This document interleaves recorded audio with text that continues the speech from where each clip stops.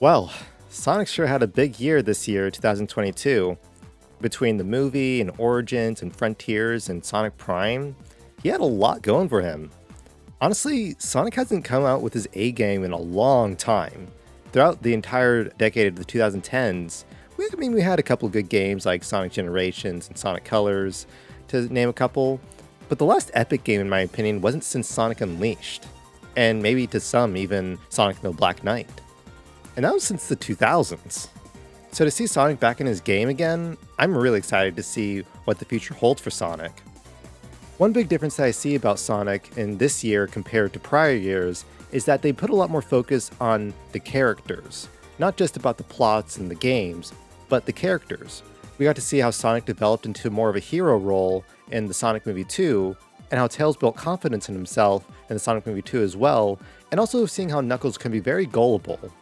Sonic Origins gave us the classic games to play again, but on modern consoles, and it really reminded me of the Gems collection and the Mega collection that we had back in the PS2 and GameCube days.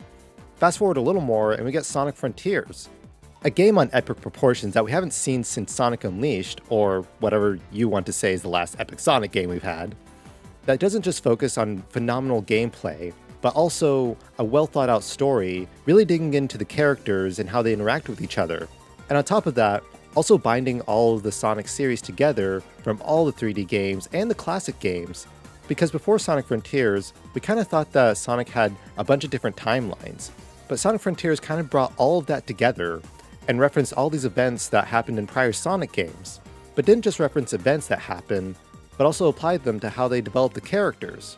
Fast forward to Sonic Prime, we got to see Sonic's friends in different universes and essentially see them as their opposite selves.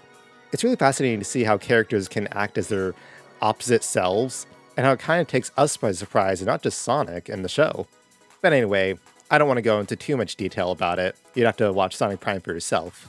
But the point I want to drive across is that I feel like Sonic is getting back in his A game again because there's a lot more focus on the characters, not just the gameplay and not just the plot of the story, but the actual characters themselves and how we can relate to them.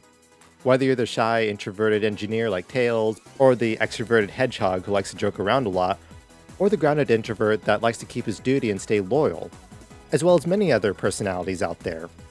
Now, I know this may have been a little bit of a short video I just made, but I think it really drives across a point on what's really appealing to the Sonic series, or any video game series as a matter of fact. Let me know in the comments below what you think made Sonic such a great series in 2022, and be sure to check out my other videos here on the screen. Alright, well thanks so much for watching, and as always, we are Eternal for Life.